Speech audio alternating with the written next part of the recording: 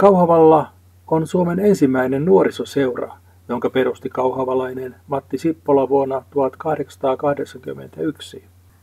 Kauhavan ja Suomen ensimmäinen nuorisoseuran talo sijaitsi Kosolanmäellä. Sitä kutsuttiin Toivolaksi. Toiminta kehittyi niin vireäksi, että muualla Suomea sitä kutsuttiin Toivolan yliopistoksi. Joka kylään Kauhavalla nousi oma nuorisoseuran talo, ja enimmillään niitä oli kahdeksan eri kylissä.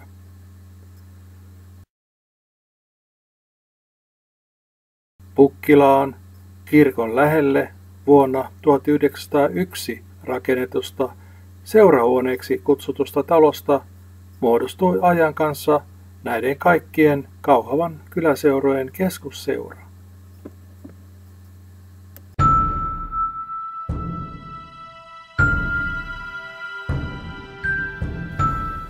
Taloa ympäröi nurmettunut puisto, jonka puut ovat paikoin istutettu lehtimajoiksi. Käytävät kiertelevät mukavasti puiden lomassa. Jokirannassa on laululava ja sen edessä nurmikenttä yleisölle. Ennen 1900-lukua palkkasi Kauhavan nimismies Kauhavan rumafallesmanni Alpek-nimisen vanhan sotilassoittajan seitsemäksi kuukaudeksi johtamaan aloitettua torvisoittokuntaa. Silloin soiton alkeita oli oppimassa seitsemän miestä. Tästä lähti orkesteriharrastus vireille Kauhavalla.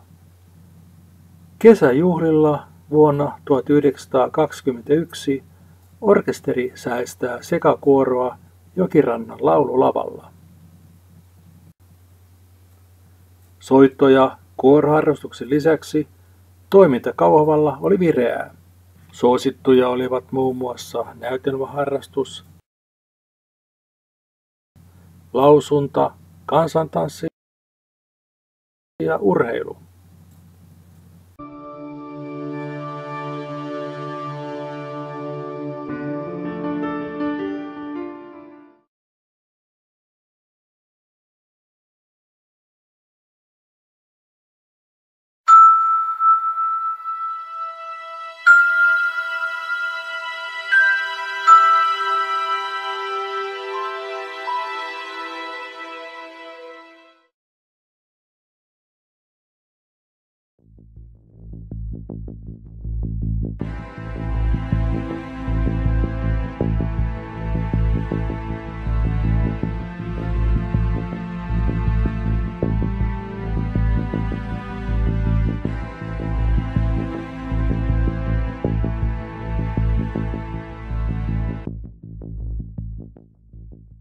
Kun Kauhavalle oli noussut ensimmäinen nuorisoseuran talo jo 1891, alkoi niistä nousta muuallekin päin Suomea. Into toimintaan oli koko Suomessa kova 30-luvun alussa. Erityisen kova se oli Etelä-Pohjanmaalla. Silloin Etelä-Pohjanmaalle oltiin ehditty rakentaa jo 104 nuorisoseuran taloa. Talot rakennettiin talkooväellä. Kattotalkoot keräsivät Ylistarossa puoli kylää paikalle.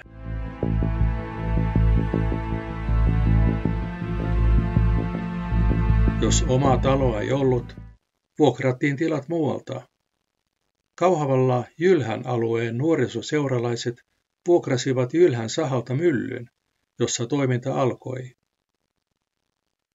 Yleisenä nuorisoseura-ohjelmana oli tervehdyspuhe, lausuntaa, pakina, laulua ja soittoa, ja lopuksi tanssia. Kauhavan Oravan nuorisoseuralla järjestettiin myös iltamia. Kruunuhäitä, näytelmiä sekä opintokerhotoimintaa.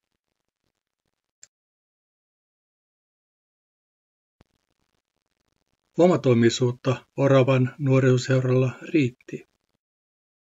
Suomen lippua ei raskittu ostaa, kun lippukankaasta oli pula. Oma Suomen lippu tehtiin valkoisista jauhosäkeistä. Yksi säkki värjettiin siniseksi ja kylän naiset ompelivat seuralle Suomen lipun. Sen ajan politiikassa työväentalon väellä ja nuorisoseuran väellä oli selvä ero. Oravan nuorisoseuran orkesteri oli saanut soittimensa työväentalolta. Kun se soitti yrittäjä Paalasen juhlissa, joutuivat he palauttamaan soittimensa takaisin työväentalolle. Soitto loppui. Mutta nuorisoseuran väki keräsi rahat uusiin soittimiin ja niin sai soitto taas jatkua.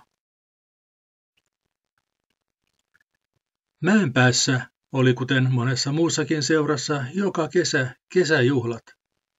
Isoissa seuroissa väkeä oli satamäärin ja pienemmissä koko kylän porukka. Erityisen tärkeä oli oma lehti Pyrkiä. Sen välityksellä nuorisoseura-aate levisi tehokkaasti jäsenistölle. Kauhavan ja Suomen ensimmäisen nuorisoseuratalon portin pielessä on karnevaalijuliste. Siinä mainostetaan värivivahduksia ja vilkkuvaloja. Perustettiinko Kauhavalla Suomen ensimmäisessä nuorisoseurassa 30-luvun alun iltamissa myös Suomen ensimmäinen disko?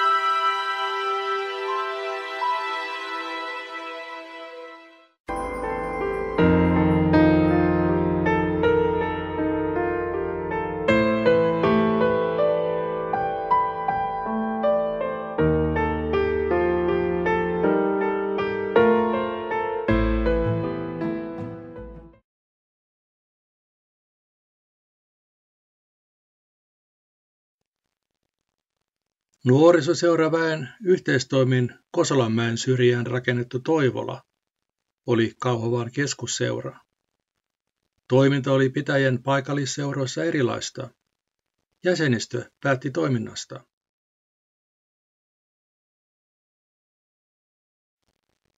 Millaista tämä toiminta oli 2- ja 30-luvulla Kauhavan nuorisoseuroissa?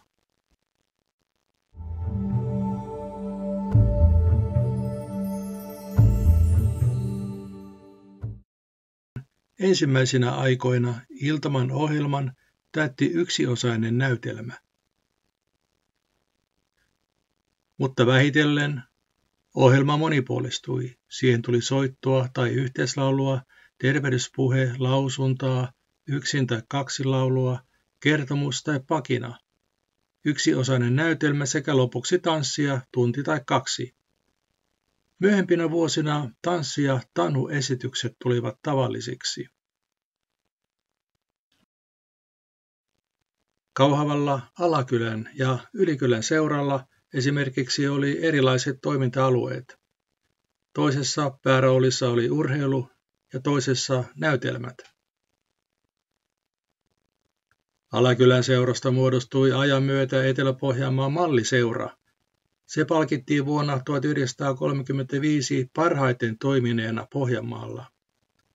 Sen erityisalueena oli urheilu. Voimistelu oli sen vahvuus.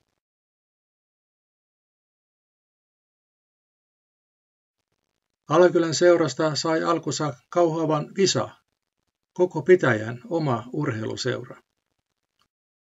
Visan toiminta laajeni, kun suojeluskunta rakensi urheilukentän kirkolle.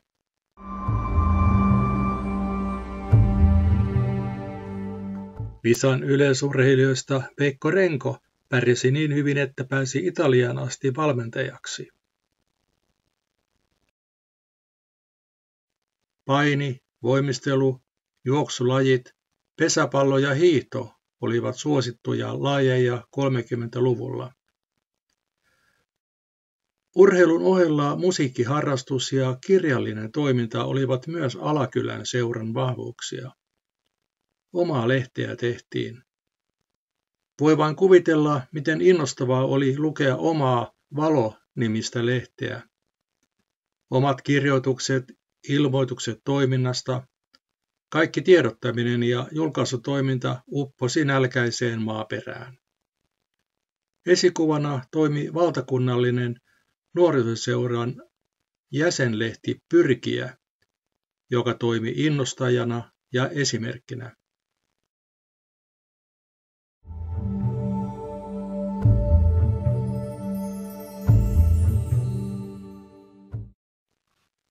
Näytelmät olivat Ylikylän nuorisoseuran erityisalue. Ammattiohjaajien opastuksella esitettiin näytelmiä. Laulu tulipunaisesta kukasta, Seitsemän veljestä ja pohjalaisia olivat silloin suosittuja.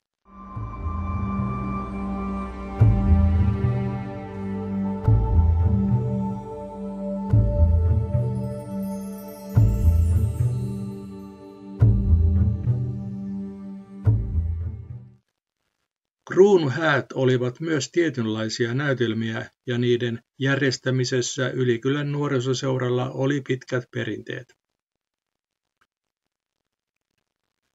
Näiden kahden seuran lisäksi kaikissa Kauhavan kahdeksassa jäsenseurassa toiminta oli monipuolista ja vireää.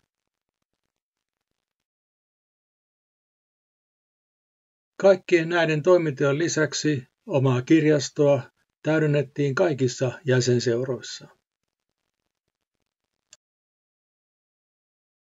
Itse esitettyjen näytelmien suosio oli kovassa kasvussa 30-luvulla ja vain voimistui ajan myötä.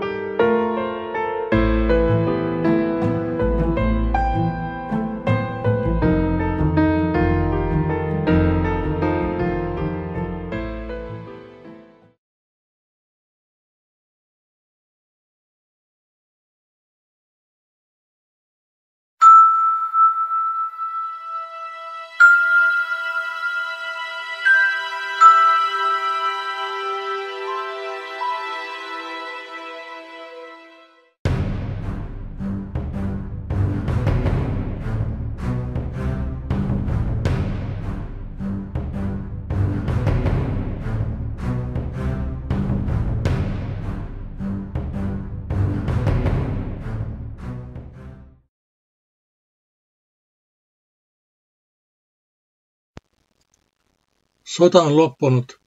Suomi oli hävinneiden maiden joukossa.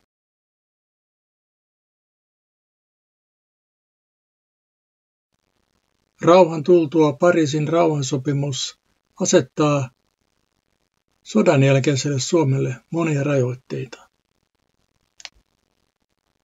Isänmaalliset järjestöt, jotka auttoivat sotaa edeltävänä ja sodan aikana sotaan varautumisessa kiellettiin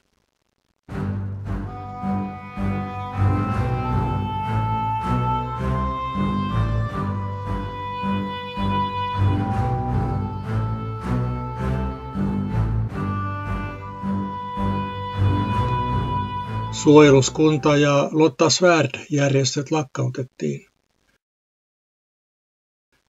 Vieno Nurmi oli sodan aikana palvelut Kauhovan Lotissa. Kun Tämä toiminta loppui, nousi tilalle muuta toimintaa. Siihen aikaan oli, noin 30-40-50-luvulla, niin oli elämä sentään aika rauhallista, että ehti, ehti tuota kaiken näköisiä harrastuksia pitämään ylle. Ja niitä kyllä oli sitten monenlaista. Sodan jälkeen oli Kauhavan nuorisolla kova tarve suunnata tarmoaan erilaisiin harrastuksiin. Partiolaiset Aino, Laila ja Helminurmi löysivät partiotoiminnan hiipumisen jälkeen uutta harrastettavaa. Sodan jälkeen Suomessa oli naisvoimistelu suosittua. Helminurmi osallistui Kauhavan naisvoimistelijoiden toimintaan.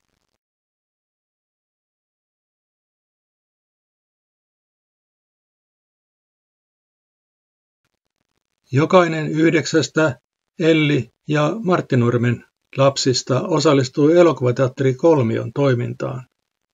Se oli kaikkien työ ja samalla harrastus. Laila Sisar näytti myös Kolmion konehuoneessa elokuvia. Tämän lisäksi hän valitsi ja tilasi näytettävät elokuvat.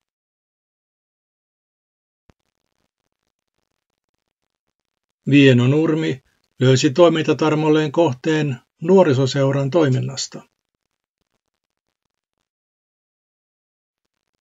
Hän tulee muutaman vuoden aikana käymään läpi Kauhavan nuorisoseurassa kaikki vaiheet, lipunmyyjästä puheenjohtajuuteen.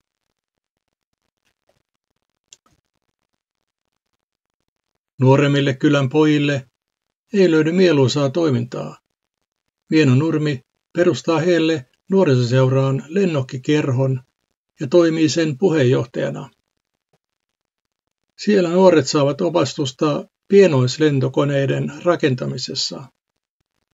Vuonna 1946 koulun voimistelusalissa järjestetään näyttely valmistuneista pienoismalleista.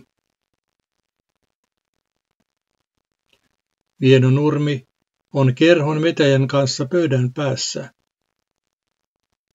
Vieno Nurmen harrastukset lentokoneen parissa tulevat johtamaan kohta pidemmälle ja ennen kaikkea korkeammalle.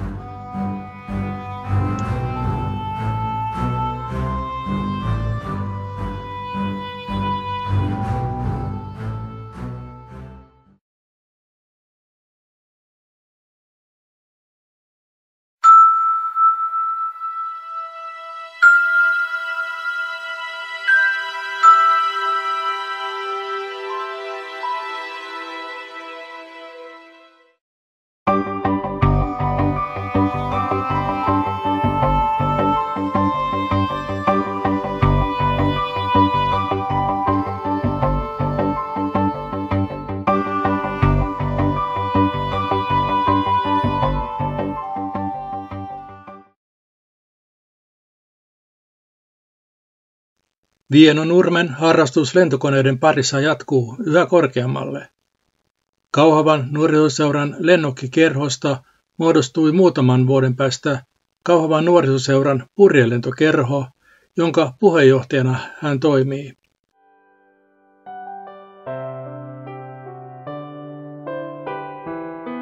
Niin pojilla ei oikeastaan ollut mitään niille mielenkiintoista harrastustoimintaa. Ja sitten siitä mietittiin sitä monen kertaan, niin keksittiin, että perustetaan Suomen ensimmäinen purjeleltokerho, joka toimii tällä periaatteella. Ja niin se sitten toteutui. Vieno Nurmi on saanut veljeensä kanssa isänsä taatan ympäri puhuttua. Tämä on ostanut vain kerhon käyttöön avolava Fordin. Sen runko on sahattu kahtia ja peräosaan on rakennettu vetokoneisto purilentokoneille. Auto on muunnettu kokonaan purekoneiden ilmaan vetämistä varten. Pitkällä vaijerilla saadaan harakka ja muut itse rakennetut purjelentokoneet hinattua ilmaan. Purjelentokerho aloitettiin sillä tavalla, että ensiksi tilattiin rakennussarja ja rakennettiin itse oma alkeiskona. Siihen tarvittiin myöskin vetoauto ja veto hinausvaijeri. Ja sitten lupa vielä ilmastokoulun lentokenttä, saatiin sitä käyttää ja lentokonehalli, jossa säilytä, saimme säilyttää näitä purikoneita. Kerholaiset itse hankkivat pitkälti rahat kerhon toimintaan. Paljon rahaa vaativa yritys tai tällainen harrastus, että siinä tehtiin paljon töitä kaikella tavalla.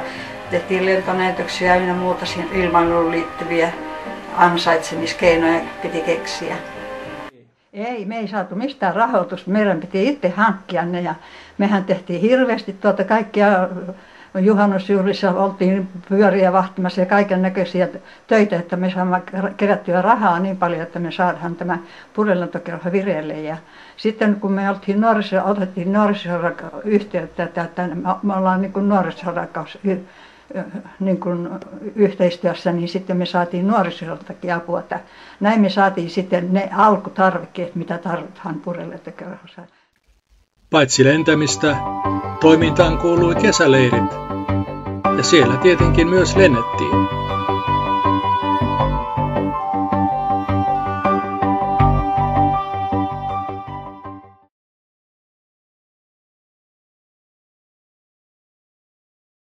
Ja kyllä kaikki oli hyvin innostuneita. Se sujuu hyvin, erittäin hyvin, hyvä yhteishenki oli. Ja sitten me pidettiin paljon leirejä. Siellä me lennettiin Menkijärvelläkin lentoleirejä ja järvien jäällä. Ja vielä tänäkin päivänä, 60 vuotta sitten olevia poikia, jotka oli kerrossa, niin ne vieläkin harrastaa purjeilua.